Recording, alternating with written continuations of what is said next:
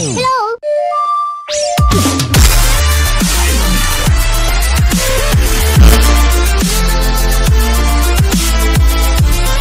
Welcome to East Coast LQ Reviews. Today I got another Lagunitas beer. This is, uh, I believe this is a limited edition one. It says uh, 2017 One Hitter Series.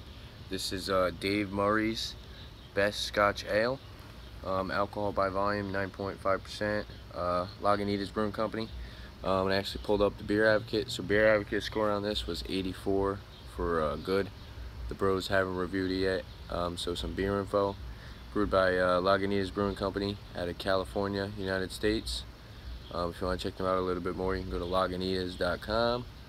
Um, style of this beer is a Scotch Ale or Wee Heavy. Um, I actually just got to grab my bottle opener real fast. One sec, sorry again. And we're back. I just had my uh, bottle opener in my cooler. So let me just finish reading off what this says. Uh, so style Scotch Ale, Wee Heavy. Alcohol by volume 9.5%. Availability limited, brewed once, and there are no notes or commercial description. So I got a clear glass here. I'm gonna pour this into. Gonna crack it open. Check this beer out. It's my first time trying this beer. 9.5%, so it should be kind of a heavy, heavier beer. Can already tell the color is kind of like a reddish brown color. Um, looks pretty good. Pretty producing a nice kind of like uh, tanned head. Doesn't seem like it's going way too fast.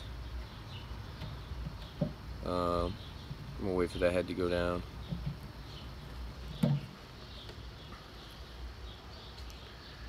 But uh, yeah, it actually smells pretty good. I can smell it over here. Um, like I said, the head, pretty nice tan head. Uh, not going away too fast, so you can see it's kind of like a reddish color. Right off the bat, I get kind of like bready malt, a little bit of like caramel, kind of like from that caramel porter, the Saranac one. Nice caramel sweetness to it. It smells actually really sweet. Some bready malt. This smells pretty damn good. I'm uh, I'm gonna see what Beer Advocate says. One guy says smell, he says toffee, uh, caramel, tasted crust. Um, so you do kind of get like a crusty flavor. Smells pretty good though. Um, and he also says broken pine needles and smoke. So you do kind of get like a little bit of a hop smell to this. Not too strong at all, at all though. Excuse me. I don't know what's bouncing around in these trees. But uh, as you can tell, this head's kind of taking a little bit. So let's go with this.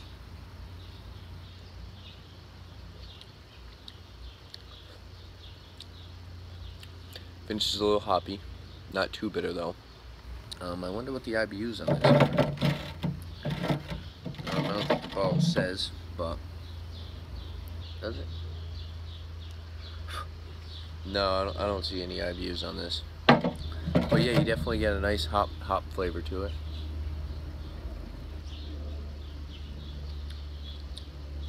Kind of like a caramel sweetness. Get like a bready malt kind of flavor to it. Mouthfeel on this is definitely heavy. Definitely a filling beer. Um, but it's pretty damn good. Um, let me see what uh, Beer Advocate says. Taste. Um, this guy says big toffee sweetness. So I'm getting kind of like a nice toffee caramel kind of sweetness to it. Toasted crust. So kind of those bready malts that I'm talking about kind of has like a nice toasted kind of bready flavor to it. Kiss of smoke. Um, I don't really get much of that. It says somewhat jammy.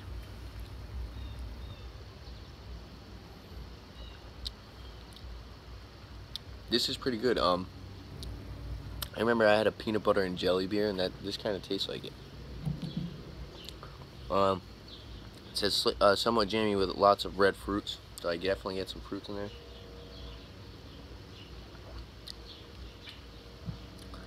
So uh, yeah, overall this is pretty damn good beer. Um, this guy says mouthfeel, huge body, full, thick, chewy uh, coating, ample carbonation. Um, so yeah, the carbonation is about medium on this to me. Um, but uh, yeah, for rating on this, um, I think I'm gonna give it a nine.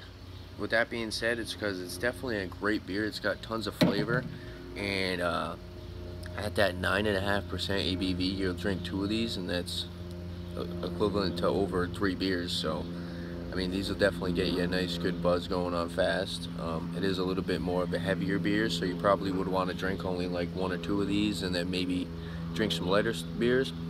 But uh, yeah, it's definitely recommended. I'm not sure on the price on this. Um, I believe it's around probably 11 to 12. Um, I think this does come in a six pack. Fucking bug attack in my drink. But uh, yeah, I think a, a six pack of this is around like 12 or maybe even 13 because I know the higher ABV Lagunitas are a little bit more pricier. Um, to me, this sort of tastes like uh, Founder's Dirty Bastard. I'm sure it's pretty similar. And uh, also, I just want to say that I believe this is unfiltered. It's definitely got a lot of chunkies floating around in there. I don't know if my camera can pick it up, but I can definitely tell. Yeah, there you go. See, you can see, totally see that there's a lot of chunkies in here. And uh, yeah, overall, it's a pretty good beer. Definitely recommended. Like I said, my rating, gonna give it a 9 out of 10. And uh, yeah, if there's any other liquor beers like see on my channel, leave a comment below. And don't forget to like and subscribe for my upcoming videos on liquor and beer. Thanks for watching. Cheers.